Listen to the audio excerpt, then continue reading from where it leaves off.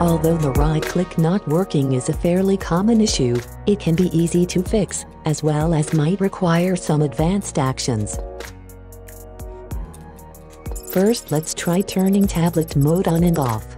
Press Windows key with A simultaneously. In the Action Center at the bottom of the screen click on Tablet Mode button to enable it and then click again to disable it. See if the problem persists.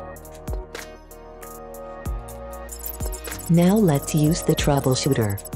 Click on Windows button, type in Hardware and Devices and in the results click on Find and Fix Problems with Devices option.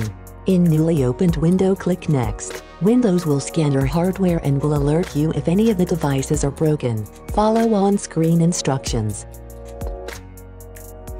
Let's try restarting Windows Explorer process.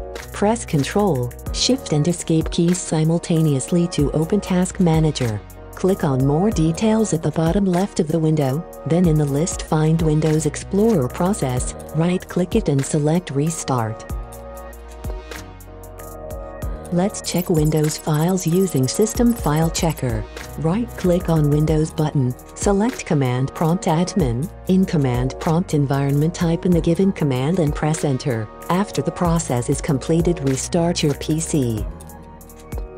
This issue can be caused by recently installed program. If you did install some program, try uninstalling it. Click on Windows button, type in Control Panel and press Enter. In newly opened window click on Programs and Features option. Once there, in the list find recently installed program. As an example we will use CC Cleaner program. Right-click on it, select uninstall and follow on-screen instructions to uninstall it. After uninstallation, reboot your PC. Thank you for watching. Subscribe for more videos.